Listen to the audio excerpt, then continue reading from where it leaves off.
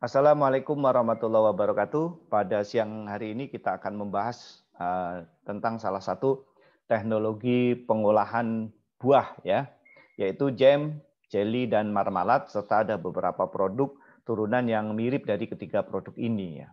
Nah, jadi untuk produk jam, jelly ini merupakan uh, salah satu produk yang banyak ditemukan hmm, di pasaran Indonesia ya ada jam, jelly yang sering disebut dengan selai ya. Kita sering menyebut dengan selai.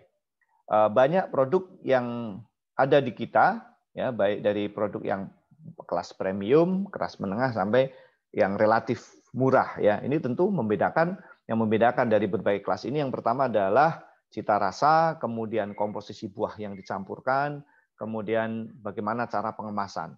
Ada yang dikemas dengan sangat premium ya, dengan menggunakan gelas jar, Kemudian ada juga yang dikemas biasa saja dengan menggunakan plastik. Bahkan untuk kelas yang relatif murah itu biasanya eh, ada produk yang dikemas dengan eh, kemasan curah, ya, dikemas dengan kardus 15 kilo, kemudian dijual dengan kiloan, ya, jadi bisa dijual dalam bentuk eceran. Jadi buah dan sayur ya kita akan membahas kita fokus kepada buah. Ini merupakan produk yang memiliki umur simpan yang relatif pendek ya relatif pendek terutama pada buah-buah yang bersifat klimakterik. Ya dia biasanya hanya seminggu saja sudah mulai busuk ya. Kemudian ada yang lima hari sudah mulai busuk. Nah maka dari itu produk-produk buah tropis ini perlu dilakukan berbagai proses pengolahan. Salah satunya diolah dengan eh, dalam bentuk penambahan gula ya atau dalam bentuk produk yang manis ya. Ini ada beberapa eh, jenisnya antara lain adalah jam, jelly, kemudian ada uh, preserves, kemudian ada marmalade, kemudian ada produk fruit butter ya. Nah, produk mentega buah itu adalah beberapa produk. Tetapi kalau di Indonesia banyak seperti jam jelly, kemudian marmalade juga ada, kemudian ada juga uh, produk uh, manisan ya, manisan. Oke, kita akan membahas satu-satu bagaimana produk-produk ini diolah, kemudian uh, bagaimana teknologi yang bisa digunakan. Nah, jadi intinya adalah produk ini merupakan produk buah yang kemudian diawetkan dengan proses penambahan Eh,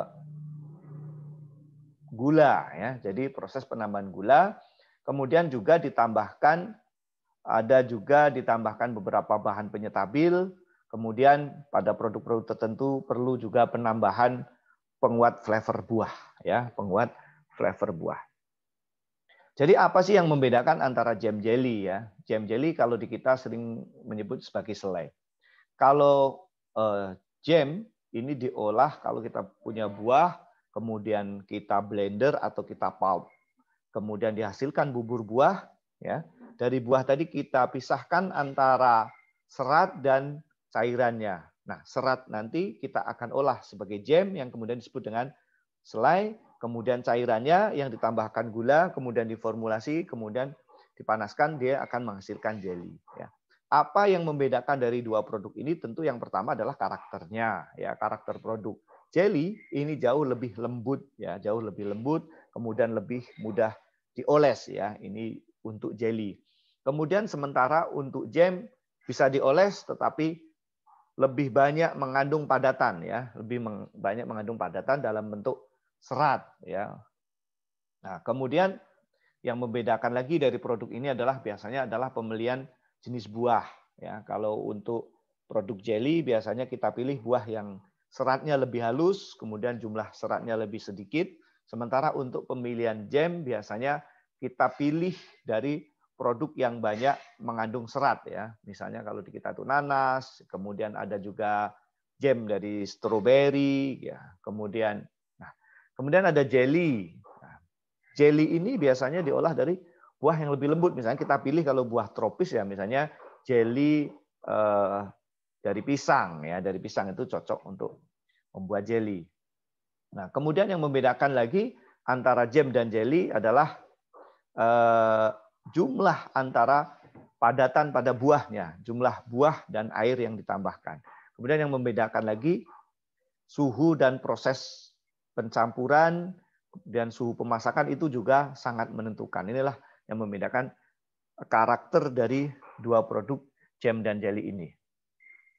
Selanjutnya yang ketiga, yang kedua ya betul yang ketiga adalah produk marmalat ya. Jadi kalau tadi ada jam dan jelly, untuk marmalat ini lebih mirip seperti jelly dibanding jam ya. Jadi maka tekstur marmalat ini sedikit lebih lembut ya. Jadi lebih lembut. Yang membedakan dengan jelly apa? Yang membedakan pada marmalat kita tambahkan potongan-potongan buah kecil ya. Jadi kita kasih irisan-irisan buah kecil.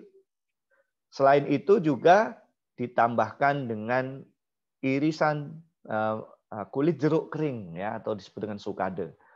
Jadi sekali lagi marmalat ini lebih mirip dengan jelly tetapi di dalamnya diisi dengan potongan-potongan buah kecil kemudian eh, ditambahkan dengan potongan kulit jeruk. Oke.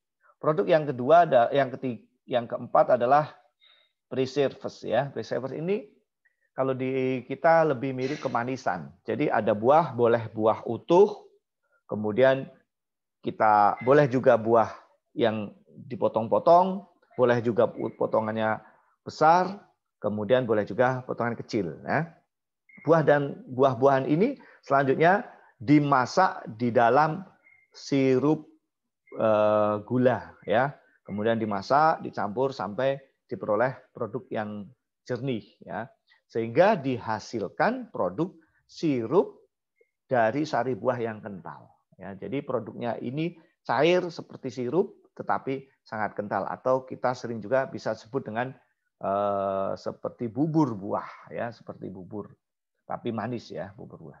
Kemudian produk selanjutnya disebut dengan mentega buah, ya. Nah, jadi kalau mentega buah ini produknya mengandung serat ya produknya mengandung serat ya.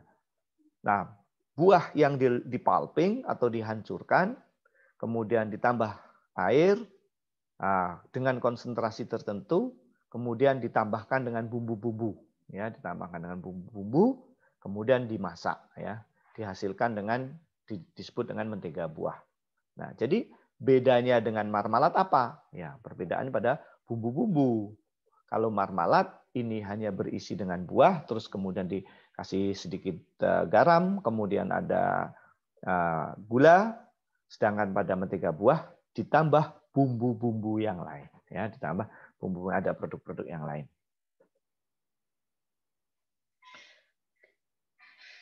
Oke, jadi eh, selanjutnya ada buah preserves tadi sama yang membedakan. Sebaiknya untuk buah preserver kita olah dari buah yang setengah mateng ya setengah mateng sehingga dia masih menghasilkan uh,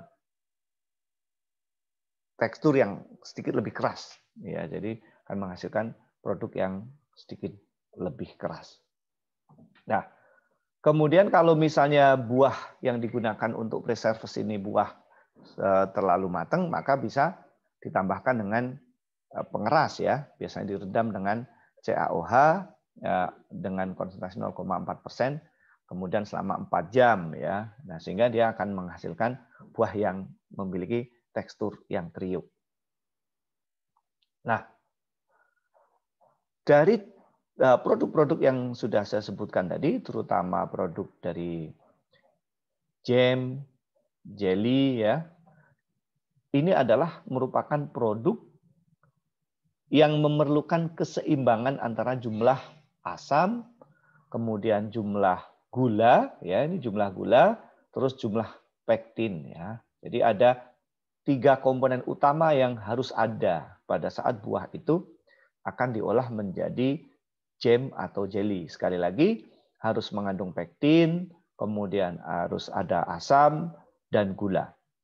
Nah, apa fungsi dari tiga komponen ini? Jadi tiga komponen ini uh, mempunyai fungsi khusus di dalam proses pembentukan tekstur di dalam jam dan jelly sehingga jam-jam jelly mudah dioles ya dengan teksturnya uh, enak di mulut tetapi pada saat dioles di kue atau di produk lain akan sangat mudah.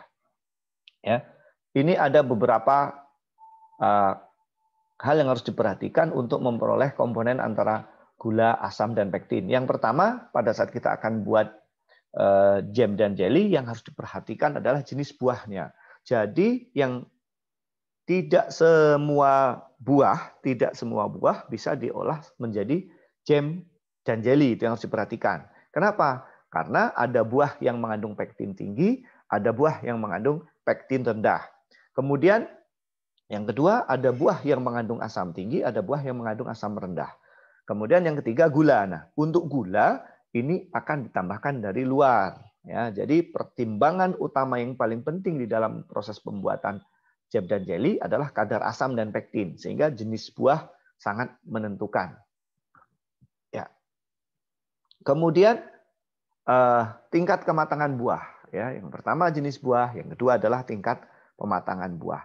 Jadi sebaiknya untuk membuat jam dan jelly dipilih buah yang tidak terlalu mentah dan juga tidak terlalu matang ya jadi kita buat uh, buah yang mengkal biasanya ya jadi pada buah yang mentah nah, senyawa pektin ini masih dalam bentuk protopektin ya pada bentuk protopektin protopektin ini komponen yang sangat tidak larut air sementara pada buah mentah mengkal atau setengah matang ini komponen pektinnya adalah komponen pektin yang sedang bagus. Sementara kalau buah terlalu matang, komponen pektinnya sudah berubah menjadi asam pektat. Asam pektat ini memiliki tingkat kelarutan yang tinggi dibanding dengan pektin. Sehingga pada saat kita olah menjadi buah, uh, dari buah menjadi jam atau jelly akan menghasilkan jam yang kurang bagus. ya. Nah, jadi kalau kita akan uh, mengolah jam dan jelly, kemudian kita uh, ukur dengan spoon test atau pok test, yang bagus ini adalah uh, dia mengalir, ya, dia mengalir, tetapi sedikit demi sedikit, ya, jadi mengalir sedikit demi sedikit. Kalau buahnya mentah, maka Eh, jam atau jelly tidak bisa mengalir ya, tidak bisa mengalir dia lengket. Oke. Sementara kalau buahnya uh, terlampau matang, ya terlampau matang, maka jam dan jelly akan mengalir lebih cepat. Jadi akan langsung jatuh ke bawah sehingga ini akan menghasilkan kurang bagus. Saya yang paling bagus adalah buah yang mekal. Dia akan mengalir atau menetes tetapi sedikit demi sedikit. Poin yang eh, selanjutnya yang harus dipertimbangkan pada saat membuat jab dan jelly adalah bagaimana proses pemasakan atau pemanasan ya. Tadi yang yang harus diperhatikan yang pertama adalah jenis buah, yang kedua tingkat kematangan buah, kemudian yang ketiga eh, jenis pemasakan ya. Sebaiknya pada saat kita memasak bubur buah atau kita memasak cairan dari uh, ingin membuat jelly, kita gunakan pemanasan dengan api yang sedang ya. Kenapa? Karena kalau kita gunakan api yang tinggi atau akan menggunakan suhunya terlalu tinggi, maka uh, pektin akan kehilangan kemampuan pembentukan gel ya. Terutama kenapa? Karena akan ada asam, kemudian ada pektin, ada panas, yang terjadi malah hidrolisis pada jelly. Sementara yang kita inginkan bukan hidrolisis, tetapi jelly akan membentuk ikatan uh, antar gel sehingga dia membentuk ikatan yang kuat uh, antar struktur jelly ya, sehingga bisa menghasilkan uh, tekstur yang baik. Oke ya. Jadi jelly yang baik ya, jelly yang baik jelly yang baik adalah memiliki komposisi sari buah pektin yang tinggi, ya dengan pH antara 3,2 sampai 3,5. Oke. Kemudian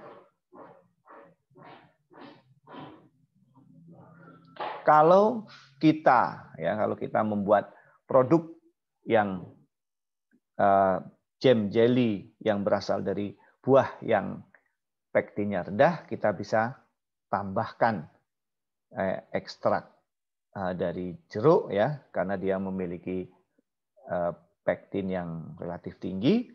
Kemudian kalau misalnya kita uh, membuat produk yang memiliki pektinnya tinggi tetapi asamnya yang kurang, kita bisa tambahkan uh, senyawa dengan yang memiliki asam tinggi ya. Jadi di dalam proses pembuatan jam jelly kita bisa menambahkan dua jenis buah. Yang pertama adalah buah apel, ya. Kemudian kita yang kedua bisa menambahkan buah jeruk. Nah, buah jeruk ini bisa digunakan atau ditambahkan untuk produk-produk yang kurang asam, sementara buah apel ini bisa ditambahkan untuk produk-produk yang kekurangan pektin. Ya, jadi kita bisa menambahkan dua buah atau dua jenis buah ini di dalam proses pembuatan eh, jam jelly ya. Sekali lagi, kalau kita membuat jam jelly dari buah yang mengandung asam yang rendah, maka kita bisa tambahkan jeruk untuk meningkatkan keasamannya. Sementara kalau kita membuat uh, jam jelly dari produk yang uh, kekurangan pektin atau dari produk yang pektinnya rendah, kita bisa tambahkan apel. Ya. Oke, berikutnya kita akan membahas mengenai uh, gula. Ya. Jadi gula ini merupakan komponen penting di dalam proses pembuatan jam dan jelly. Tetapi komponen gula ini juga harus seimbang. Di awal tadi sudah saya jelaskan, produk ini adalah produk yang memerlukan keseimbangan antara uh, gula, asam, dan pektin. Ya, pektin dan asam tadi sudah kita bahas. Kita akan membahas berikutnya mengenai gula. Jadi gula ini harus ditambahkan dalam proporsi yang pas. Ya, ya ada beberapa kendala kalau misalnya kita menambahkan gula sembarangan saja ya. Jika gula terlalu banyak, maka gula tadi akan membentuk kristal ya, sisa-sisa gula dia akan membentuk kristal sehingga uh, jelly akan cenderung keras ya. Oke. Kemudian kalau kita menambahkan gula dalam jumlah yang kurang atau kekurangan gula, maka jelly uh, akan sangat lembut ya kemudian akan produk ini malah justru akan lebih menyerupai sirup dibanding dengan jelly. Ya. Oke. Jadi bagaimana teorinya ya teorinya. Jadi kalau misalnya kita uh, punya produk yang uh, kekurangan gula, kita harus tambahkan gula dari luar ya. Nah, jadi kita harus tambahkan dari luar, terutama kalau produk-produk kita pilih adalah produk yang setengah matang, tentu gulanya tidak cukup ya. Nah, sehingga harus ditambahkan gula dari luar ya. Kalau kita menggunakan produk yang eh, atau kita menggunakan buah yang eh, buah mengkal, biasanya asamnya cukup tetapi gulanya kurang. Tetapi ada beberapa tambahan yang bisa ditambahkan ya, bisa ditambahkan asam askorbat ataupun asam sitrat ya. Ini sebagai pengganti asam. Kemudian kalau misalnya Eh, kita membuat produk jam jelly yang kekurangan pektin, eh, bisa tambahkan dari serbuk pektin komersial ataupun tadi sudah saya sebutkan tadi bisa ditambahkan pektin yang berasal dari apel. Nah, sementara untuk gula ini ditambahkan dengan gula dari luar. Nah, kapan kita akan menambahkan asam atau pektin pada pembuatan jelly? Nah, kalau gula ini relatif lebih mudah karena kita tambahkan gula. Jadi pada saat kita menambahkan gula dalam jam jelly dan ternyata uh, gulanya berlebih, maka di dalam sirup kita bisa tambahkan uh, asam, asam sitrat atau asam korbat untuk uh, untuk menurunkan pH. Sementara untuk menaikkan pektin kita tambahkan dengan bubuk pektin komersial ya atau kita tambahkan dengan bubur buah. Oke ya.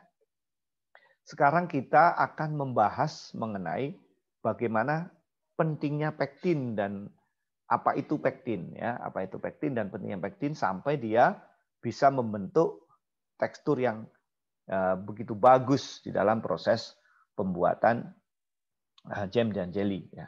Jadi uh, pektin ini pada buah mentah ini bentuknya adalah protopektin ya, protopektin atau protopektin ini bersifat tidak larut air ya, tidak larut air. Ini pada buah mentah ya, pada buah mentah.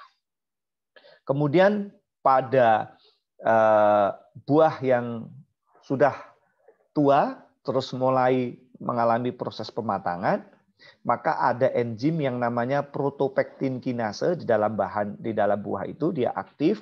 Kemudian protopektin kinase akan memutus senyawa protopektin sehingga akan menjadi senyawa pektin ya. ya jadi akan memutus uh, senyawa protopektin menjadi pektin. Nah, senyawa pektin dan protopektin dia merupakan uh, senyawa yang memiliki polimer dasar yang sama, yaitu uh, 1,4 asam D-galakturonat. Jadi struktur dasarnya dia adalah asam galakturonat, asam galakturonat, asam galakturonat. Yang membedakan antara pektin dan protopektin terletak pada derajat metilasi, ya derajat metilasi atau jumlah senyawa metil yang terikat pada senyawa karboksil. Nah, ini yang menentukan. Pada protopektin jumlah uh, metil atau derajat metoksil ini relatif tinggi.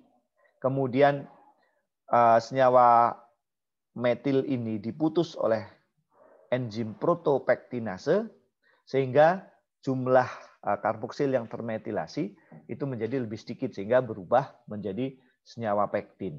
Nah, bagaimana kalau uh, buah itu menjadi terlampau matang, maka derajat metilasinya akan Eh, cenderung lebih rendah lagi sehingga menjadi lebih larut air. Nah, buah yang akan dibuat menjadi jam jelly yang bagus itu buah pada kondisi derajat metilasi yang sedang ya. Jadi pada saat kondisi eh, senyawa pektin ini adalah dalam bentuk pektin ya, bukan dalam bentuk protopektin dan juga uh, tidak dalam bentuk asam pektinat juga ya.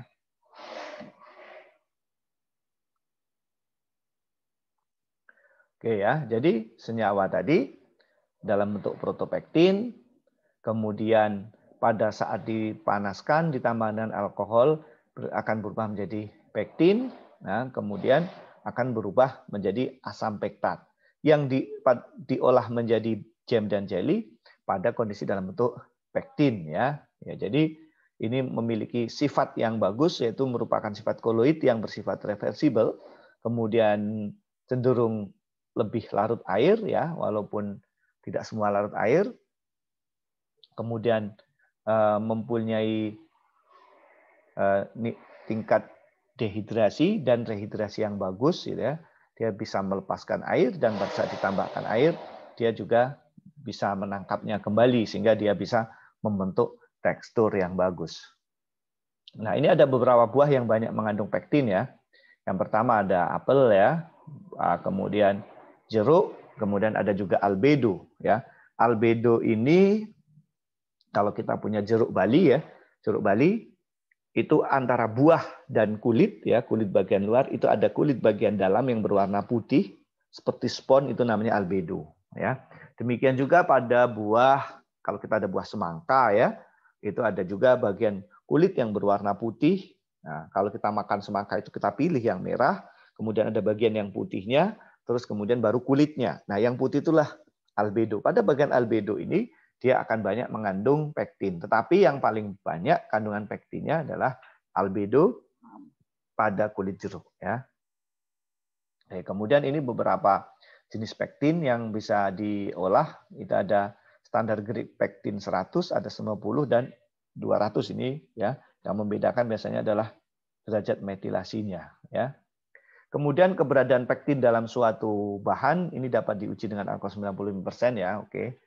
Kita lanjut berikutnya kita akan membahas tentang jam, jelly dan teknologinya ya.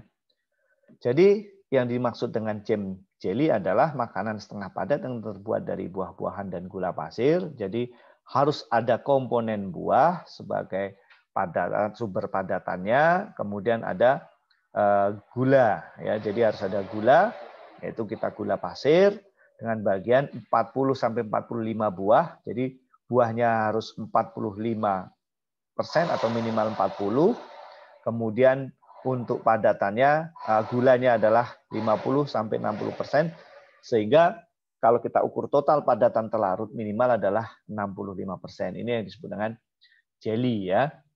Nah, jelly ini kita buat dari hancuran buah, ya, hancuran buah, kemudian kita bagi menjadi dua, bagian yang padatan kita olah menjadi jam atau selai, kemudian bagian sari buah ini kita buat menjadi jelly. Maka karena dia terbuat dari cairan, maka jelly akan cenderung lebih jernih, kemudian kenyal dan transparan ya. Jadi mirip puding ya, agar-agar atau puding ya, jam jelly ini ya.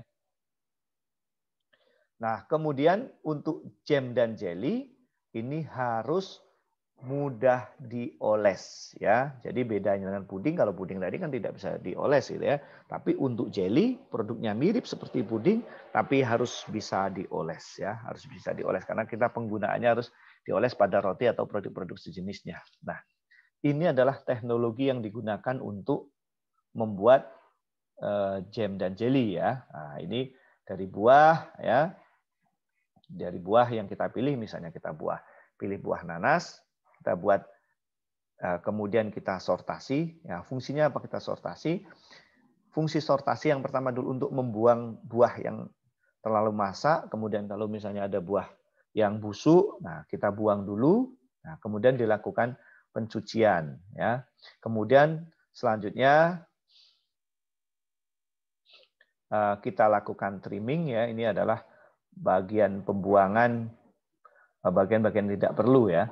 Kalau misalnya kita ada eh, tangkai apel gitu ya, kemudian atau bisa kalau kita punya eh, nanas kita potong pada bagian yang ada daunnya, kemudian selanjutnya kita kupas ya, kita kupas. Itu kalau buah-buah yang perlu dikupas. Tapi kalau buah yang tidak perlu dikupas, nggak perlu dikupas ya. Kemudian selanjutnya kita hancurkan ya, kita hancurkan eh, sehingga kita akan hasilkan ampas dan sari buah ya, kita akan eh, hasilkan padatan dan sari buah. Padatan tadi kita eh, buat menjadi ampas ampas yang kita buat selai, kemudian sari buahnya membuat jelly. Tapi kalau kita akan membuat jelly saja, tidak akan kita ampasnya kita tidak akan manfaatkan sebagai dalam bentuk jam, maka buah utuh tadi tinggal kita cuci saja, tidak perlu dikupas, langsung diperas saja, karena kita akan ambil sari buahnya saja. Tapi kalau misalnya kita akan gunakan eh, bagian padatannya untuk membuat jam, maka seyogianya kita kupas dulu, kemudian nanti baru kita buburkan, baru kita pisahkan, ya kita ambil cairannya. Nah, cairannya kita filtrasi, kemudian setelah difiltrasi kita campurkan dengan komponen yang sudah dihitung tadi antara buah, asam dan pektin ya.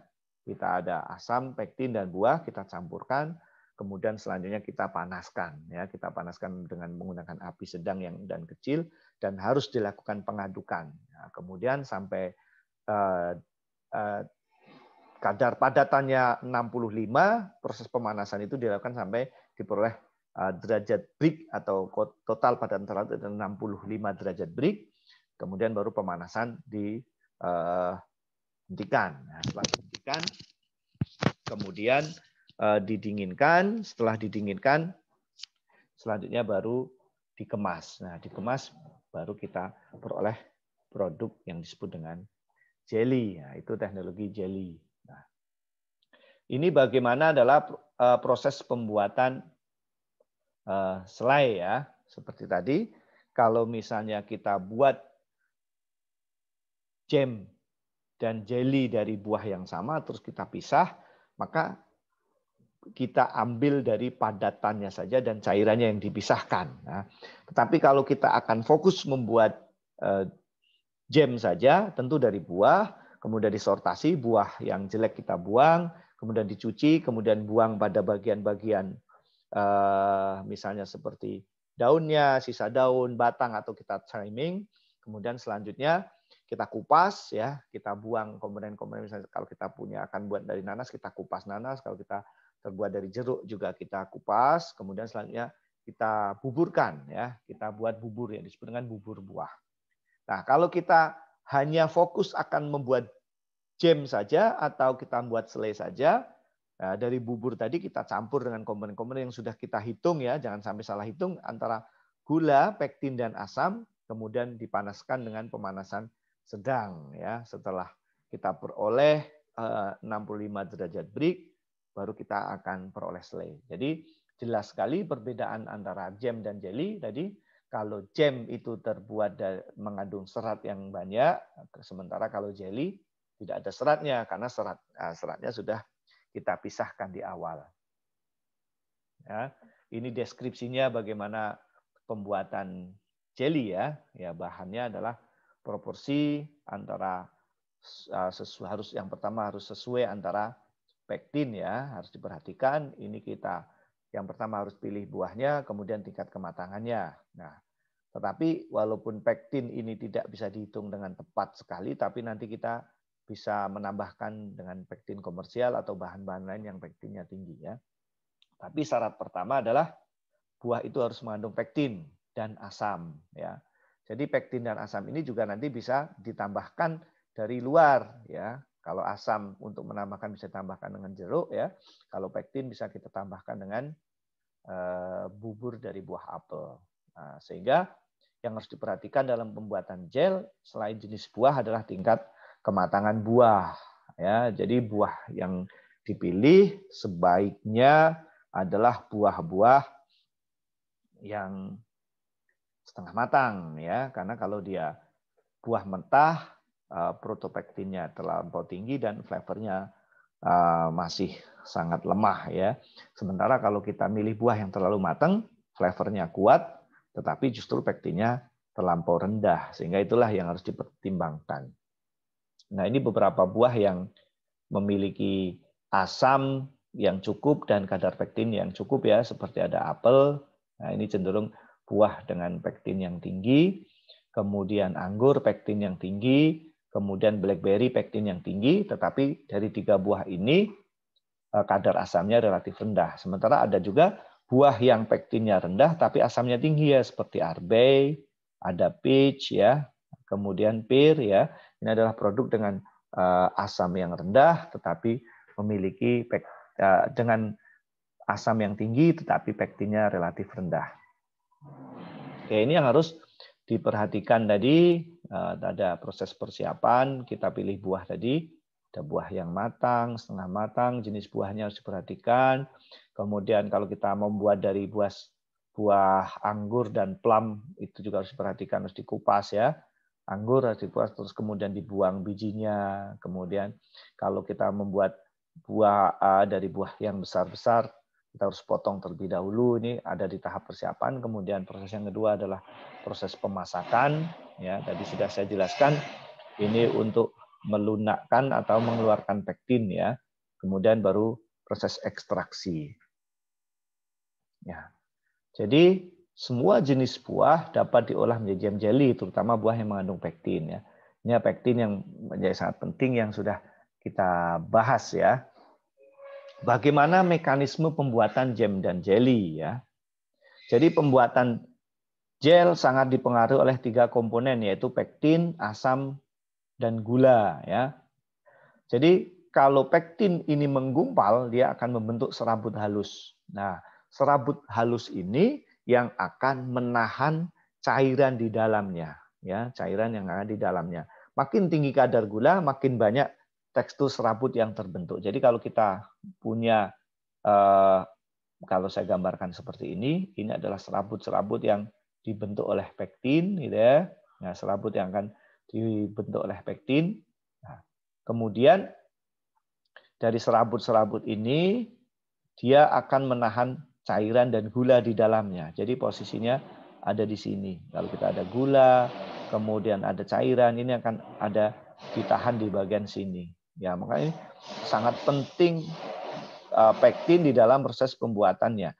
Pembuatan. Kalau pektin kurang, maka jam dan jelly ini akan terjadi sineresis. Kenapa? Karena air tadi, air ini kan ada di dalam sistem ini bersama dengan uh, gula. Nah, tetapi kalau misalnya pektin yang dibentuk kurang, maka dia akan ada lubang di sini sehingga air akan keluar. Inilah yang kemudian disebut sebagai sineresis. Jadi apa?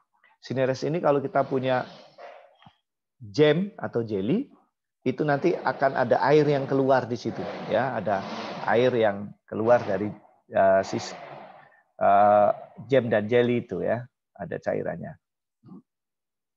Oke, jadi kondisi yang sangat asam. Jadi kalau kita menambahkan asam dalam jumlah yang terlalu banyak, ini akan ada dua kemungkinan. Yang pertama, gelnya akan sangat padat. Atau kemungkinan yang kedua, justru gelnya yang rusak karena adanya hidrolisis oleh pektin. Ya, jadi keasaman yang rendah menghasilkan serabut yang lemah sehingga tidak membantu menahan cairan.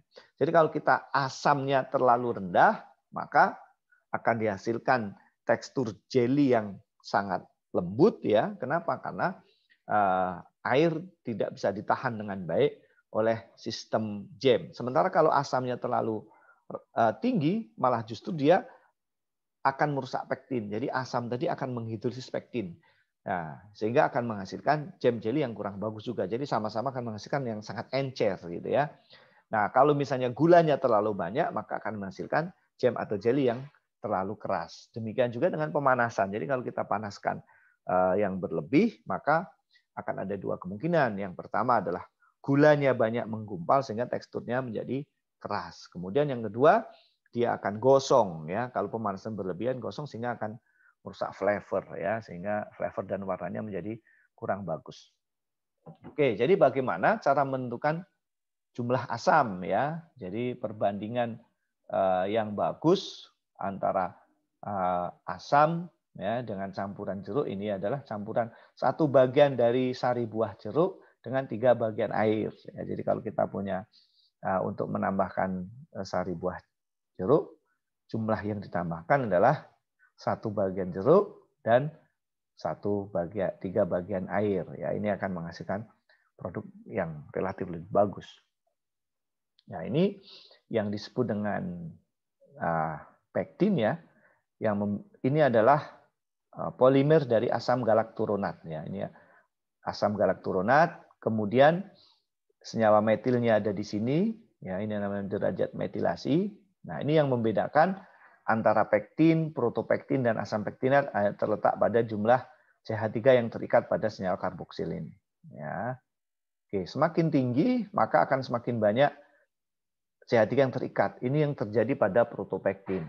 Nah sementara pada pektin sebagian ada yang lepas, ya, sebagian ada yang lepas, ya, sebagian ada yang terikat. Inilah yang disebut dengan pektin. Nah, sementara pada asam pektinat malah justru dia akan terputus ini, akan terputus banyak terputus sehingga akan didominasi oleh uh, derajat metilasi yang rendah ya senyawa-senyawa uh, karbonil ini tidak berikatan dengan senyawa metil ya. Oke. Jadi kalau kita punya asam sitrat, ya, kalau kita asam asam sitrat, inilah yang digunakan untuk asam sitrat ini yang digunakan untuk uh, mengikat senyawa-senyawa metil ya. Jadi CH3 pada pektin akan lepas dan dan berikatan dengan asam yang diperlukan untuk molekul air yang berikatan dengan COO ya. Kemudian yang kedua terjadi penyatuan pektin dan pelepasan molekul air yang kemudian ditangkap oleh gula ya ditangkap oleh gula. Jadi CH3 pada pektin akan lepas ya ini CH3 pada pektin ini akan lepas karena adanya asam ya dengan asam ini akan menyebabkan CH3 lepas kemudian CH3 ini akan berikatan dengan molekul air. Nah, kemudian poin yang kedua, ya, pektin ya pektin akan melepaskan molekul air yang kemudian ditangkap oleh gula. Jadi gula tadi Ini gula. Oke. Gula-gula ini akan menangkap air. Airnya dari mana? Air ini akan ditangkap dari pektin ya. Jadi adanya pektin ya, oke. Pektin ini dengan adanya asam ya akan melepaskan molekul air. Oke. Molekul air dari pektin akan ditangkap oleh gula ya. Jadi inilah peran penting dari tiga komponen dalam membentuk tekstur eh, pada jam dan jelly. Ya, kenapa dia jam dan jelly itu bisa dioleskan dengan baik? Mungkin akan saya ulangi sekali lagi, ya. Oke. Uh, pektin, pektin ini mengandung senyawa metil yang terikat pada COO. Ya, sekali lagi, met, pektin memiliki senyawa CH3 yang terikat pada COO. Ya. Jadi CH3 pada metil ya nah, pada metil akan lepas ya dan berikatan dengan asam ya dengan asam ini lepas oke oke lepas kemudian ini lepas akan berikatan dengan asam oke Selanjutnya, uh, metil ini, uh, selanjutnya pektin ini akan melepaskan molekul air. Oke. Selanjutnya molekul air akan ditangkap oleh molekul gula. Ya, ya inilah tiga segitiga pentingnya ada asam, pektin, dan gula yang membentuk uh, tekstur dari jam jelly menjadi lembut dan mudah dioles. Oke ya.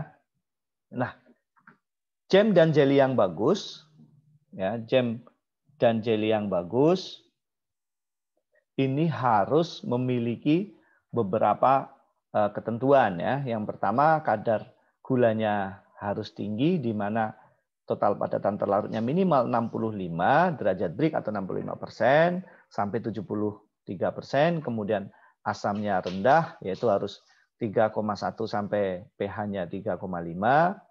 Kemudian uh, kadar AW-nya adalah 0,75. Kemudian suhu pemasak, pemasakannya adalah 105 eh, derajat Celcius ya, tidak boleh terlampau tinggi.